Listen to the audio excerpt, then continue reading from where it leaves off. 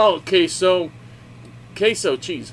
So I was watching something about. I, I in fact I unsubscribed to this metal channel because I don't like the fat guy talking. I didn't, I didn't like his voice, but now I'm seeing his fat, goofy face. I know that's not nice, but hey. Anyway, so he was a uh, pretty guitar, huh? It is damn pretty.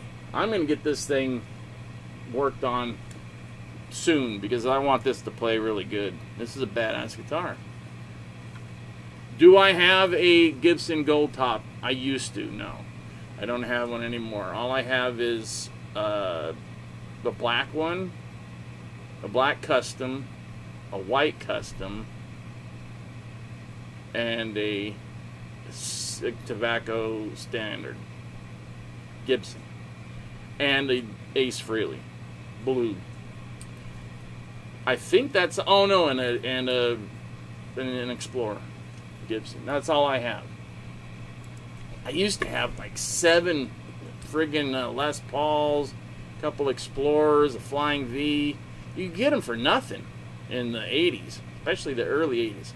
Nothing. 250 bucks, 300 bucks. Boop. Oh well. Um.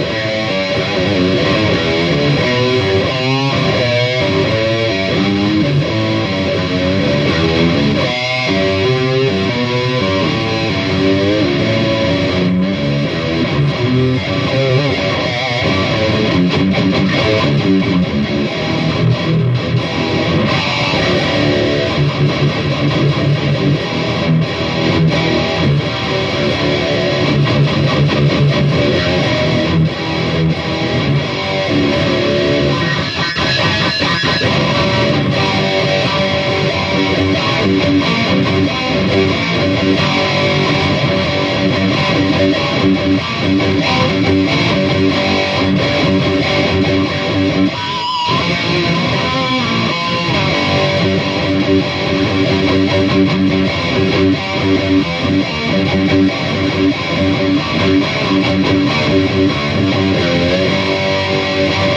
right back.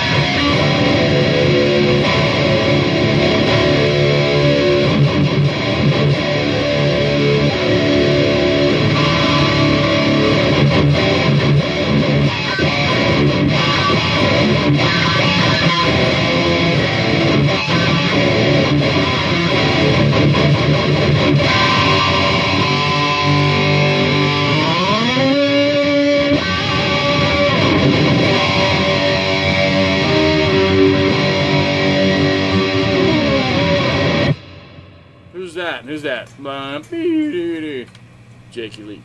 That's who I was talking about. Okay, so this guy was talking about Jakey Lee calling Mick Mars a racist because he called him a slanty-eyed something or other. He's half Japanese, and this is the 80s. People were throwing around racist stuff like it was great. This was the 80s when girls were coming up to you and offering, you know, not like today, not the horrifying, sickening political correctness that we live in today. No.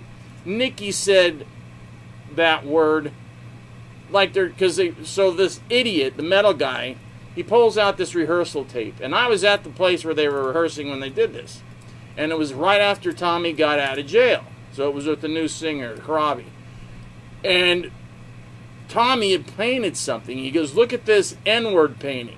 Look at this." And Tommy's la- everybody's laughing because Tommy's acting like he's like all gangster because he's been in jail for like a couple of weeks or whatever it was. Look, I've been in jail. I it didn't change the way I talked. But then again, I was with many Hispanic brethren. So actually, I did pick up a few things, but you know, I don't want to talk about jail time. I've only been in jail a few times, and it was for drunk stuff. Always drunken stuff. That's why I quit drinking. Always got in trouble. It did nothing but get me in trouble. So anyway, so this guy pulls out one thing that Mick said in the mid 90s. Okay. Nobody has ever said a racist thing ever, ever in their life. I don't anymore, but I, you know, everybody used to just fling this stuff around all the time. So here's the thing Jake, when he was touring with Ozzy, he knew he was barely in the band. And that George was actually right at the doorstep. he was at shows, George Lynch. I hate to admit this, but it is true. And, you know, Ozzy just couldn't make up his mind. Should I go with George Lynch? He seems too much like Randy and Eddie Van Halen. He doesn't have his own thing, where Jake was kind of his own deal. You know, he wasn't using a bar, but he would cheat. And but you know, Jake to me was a boring but very good guitar player. And I actually got an argument with him, you know. Back in like 99, he was it took 4 years for him to make four demo songs with my old singer Mandy, the loser. So, out of those four songs, only one is good. And so Mandy released it. And everybody's like, oh, I'd love to have them all. I have them all. I have all the song four that they did. I have every demo Mandy ever recorded because he would give me copies because we were friends. We probably still could be friends. He's, I don't know someone's got to make an effort. It's probably going to end up being me to get hold of him. It's just that if he's going to be lying all the time, like other people, and they all seem to live in the Vegas area, I can't take the lies. I can't take the constant lying. It just bugs me. So anyway, so this guy's hounding Mick for saying that when he was saying it to Tommy because of the way he was talking. Yo, yo, yo, what up, bro, brother, and all, whatever. Still talking that way, kind of.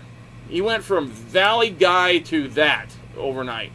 So he picks that out. You know, that's stupid. What about in 97? I had, you know, a million people got Nikki Sixx calling a security guard a dirty MNF and N word to his face. Why didn't he show that? Why didn't they just label the whole band racist? You can't do that. Is it right? No, you shouldn't be calling, saying those things. Of course not. I hate racist people. I hate racism. It bugs me. But you can't do that, you know, now with modern horrifying technology. Big this is Big Brother. Just me doing this video, it gets watched by the people that put this out and they you know, thumbs up or thumbs down whether it gets to you guys. That's, I gotta walk a line. I gotta walk the line like Johnny Cash said, walking the line.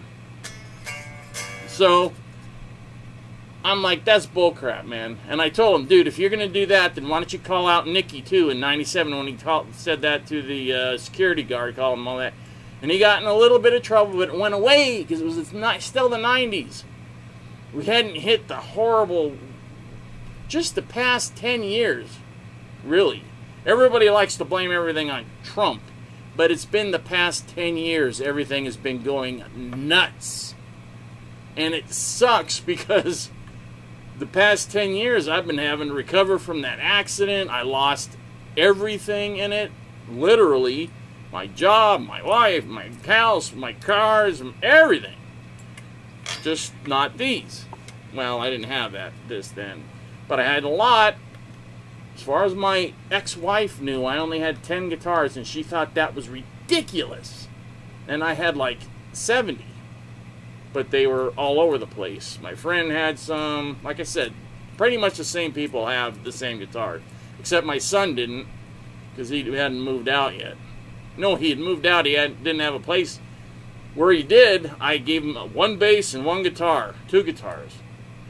And then he ended up, he's got his own guitars now. So he's got the Dime, Slime, and uh, Static X uh, Epiphone V. That's worth a lot.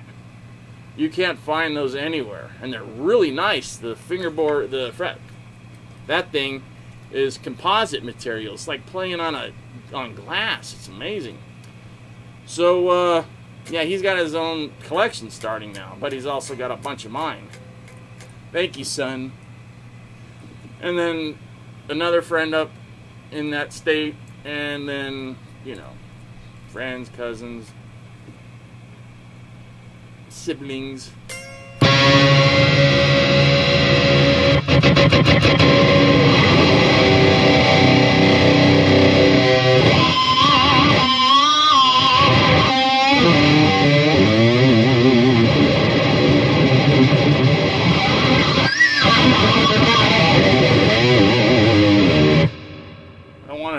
That. So the the moral of this story is you can't call someone a racist because they said one word 30 years ago or whatever. Is it right? No. So just don't do it. Try to be nice to everybody. And see, you know what? If I went and I just started, and I was thinking about this, how can I get more viewers? How can I get. If I talked about all the dirt I knew about people, you know, calling out, but I can't call out all everybody that was homosexual because that's not a big thing anymore. They're like, oh, so what? But you would be surprised if I told you all the people that in bands that were gay. But who cares? My best friend Tony was gay. He was gay. And I loved him like a brother. I miss him. Every day I miss that guy. He was cool and he taught me that this whole homophobic stuff is all a bunch of heart but I didn't I hadn't met anybody. And I'd been his friend for four years about before he told me. And he's like, Do you hate me? I'm like, Hate you? You're my brother. How could I hate you? And so, you know, time went by and it was bothering him that his family didn't know. I'm like, dude, your family knows. Now, whether they're admitting it or not or accepting, who knows?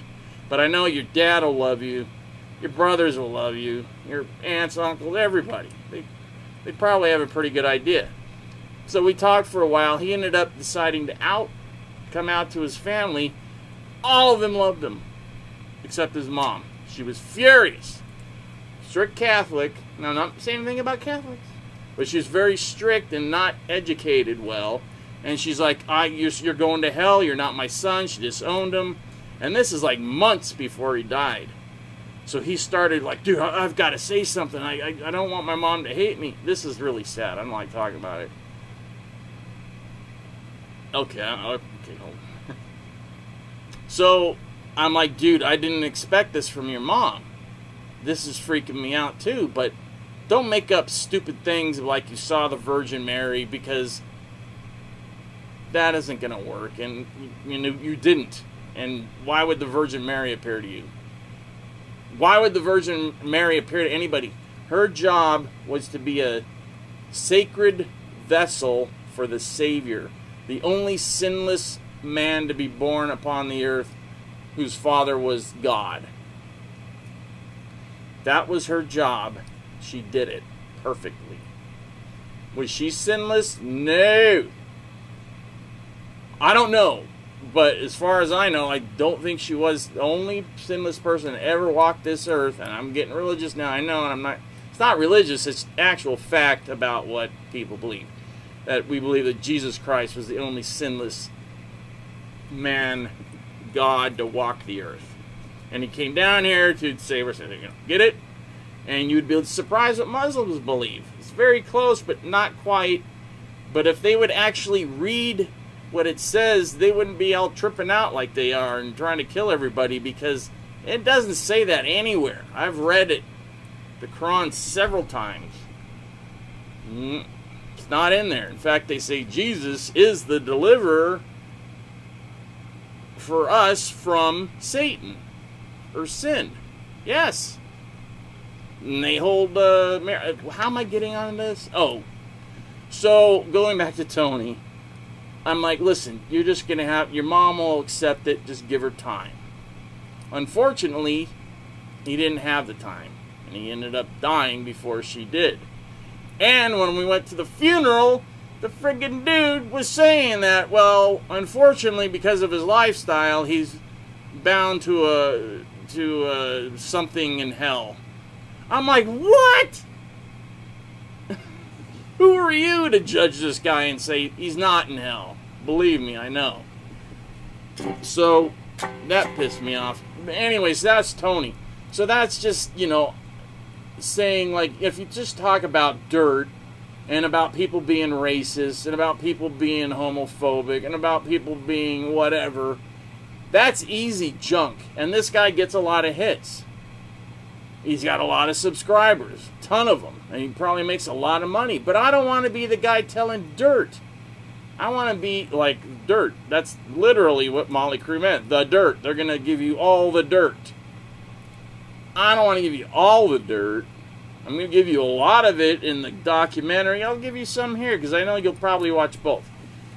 But I don't want to do that. I don't want to like this guy's did this and this guy's did that and this guy's a liar and that girl's a liar and I don't want to do that. I don't want to be that guy. So you got to help me. You say you want me to talk. I'm talking, but I'm I don't know if you guys are even going to be interested in this. You'll probably I'll probably get like nothing. No comments as usual. I got zero comments on those